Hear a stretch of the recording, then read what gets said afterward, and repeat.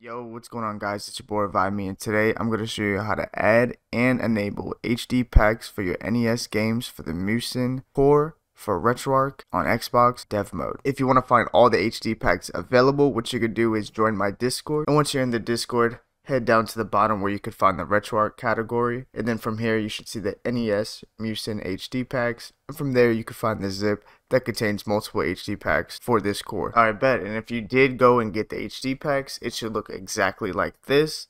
And then what we're going to do before we actually go into the tutorial is make sure to bring up your games folder that contains your NES games. And now for the HD packs to actually load properly, what you need to make sure is that the name of your game is the exact same name of your texture pack.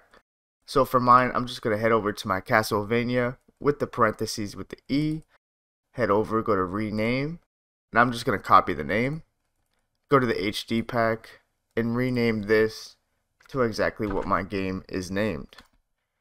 And then for all the other ones, you should do the same.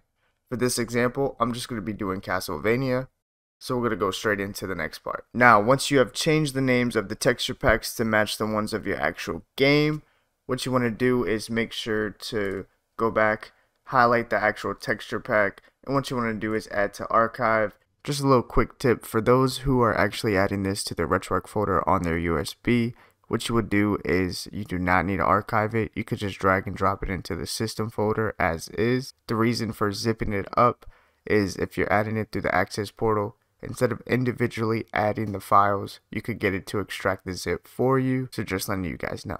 And you want to archive format it as a zip and then click on OK.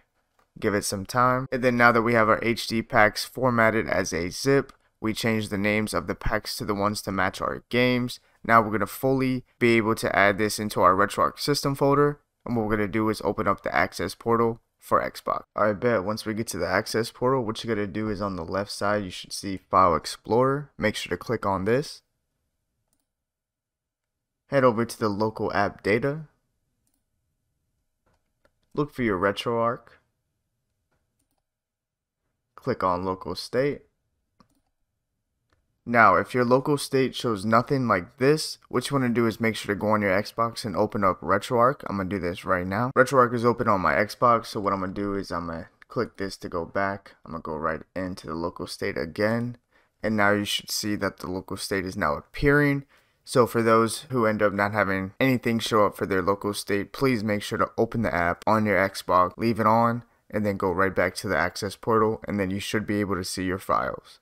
Alright, now that we're here, what you want to do is go down to the system folder. And then once we're at the system folder, what you want to do is click on choose file. You want to look for that new zip archive that we have created with the HD packs. Click on this and click open. Now what you want to do is right next to it, click on upload. You should get a pop-up on top asking to extract zip file contents to this directory. Click on OK and I'll give it some time. And then once that's finished, what you're going to do is go back onto your Xbox and we're going to go right onto RetroArch and we're going to enable the HD pack. I bet once we have RetroArch opened up, all you want to do is go into your load content, look for any of your NES games that you want to do this for. For me, I'm to do Castlevania. Go to load archive and then for the core, you want to make sure to look for NES Famicom Mesen. Click on this and let it load. Once it loads, you want to press start and select at the same time to open up the quick menu. Head down to core options. And in the middle of the screen, you should enable HD packs right here. And then once you do that, go all the way back to the top and make sure to save your game option. And then once you do that, you can play your game and you're pretty much good to go. Now start your game to make sure your HD pack has loaded. And just like that, that's about it. Now you know how to add your HD packs and enable them for the RetroArch Mesen Core on Xbox. And I hope you enjoy it. If you need any help or any questions, please let me know in the comments down below. If you're new to the channel, please hit that subscribe and like for more videos. Hope you guys have a great one.